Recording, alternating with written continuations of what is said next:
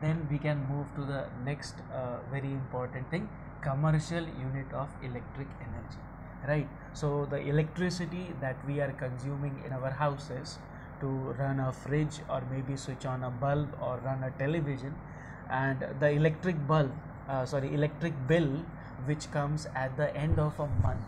In the end of a month the electric bill which we receive from electricity department that electricity is uh, calculated in terms of uh, different it is it is in terms of a watt but there is a different unit. So that is known as a commercial unit. So what is the commercial unit or uh, the electricity that we consume at our houses it is far more bigger than unit of a watt okay?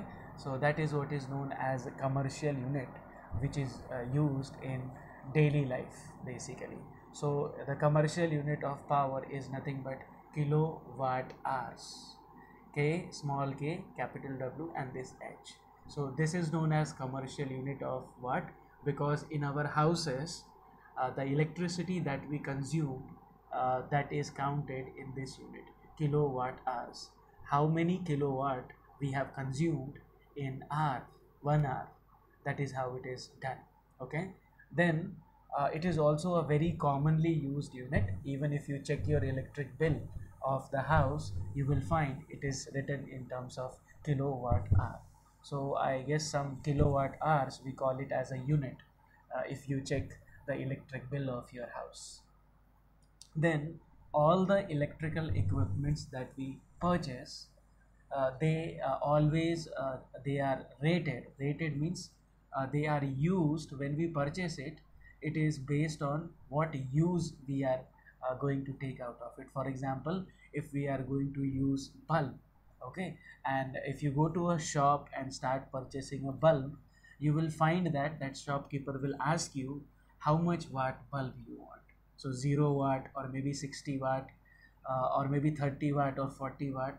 So depending on which equipment we are using it will be having that rating in terms of commercial unit not exactly in terms of kilowatt hour. This is consumption how we use electricity and this is how the bulbs are rated in terms of watt. Okay? Because that is the power of a bulb. If the bulb is rated in very high watts let's say 100 watt or 200 watt then that means it should produce very good light.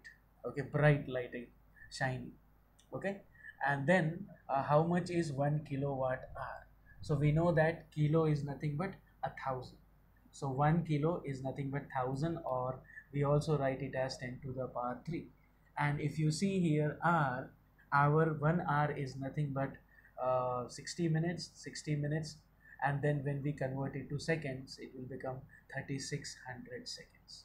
So 1 kilowatt hour is nothing but 1000 into 3600 second and watt is nothing but joules per second okay so if you see here on the right hand side there is seconds and at the bottom of this unit is second. So second and second cancels and we end up getting value in joules. So this big value uh, it is approximately if you check 3 lakh uh, sorry it should be 36 lakh uh, joules we uh, we are using in our houses. More than that actually okay so this 36 joules we can express it like this.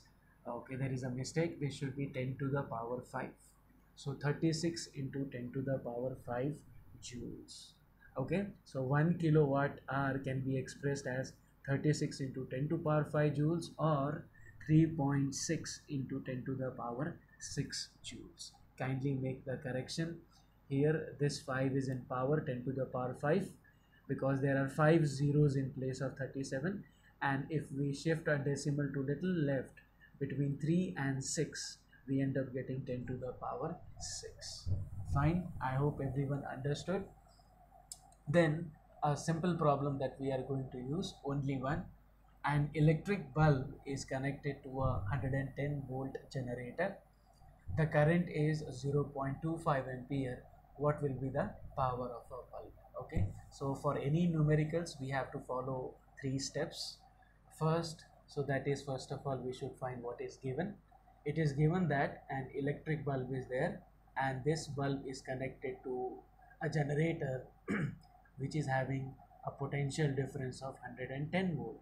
So potential difference is 110 volt. Also it is given that the current flowing through the conductor.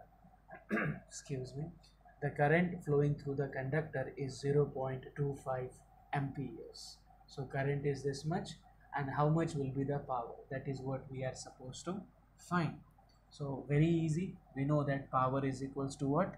Power is equals to nothing but potential difference into current because v is given to us and i is given to us and we have to calculate power. So power will be uh, v into i so again in solution we have to follow three steps. Number one get the right formula. Number two do the substitution. And number three get the answer. So these three things should be there plus the solution procedure some of the procedure in between to show the examiner whoever is checking the paper that we have done the calculation.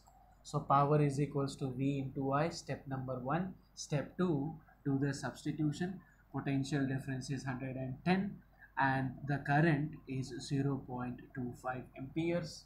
So that becomes 27.5 watt. Okay?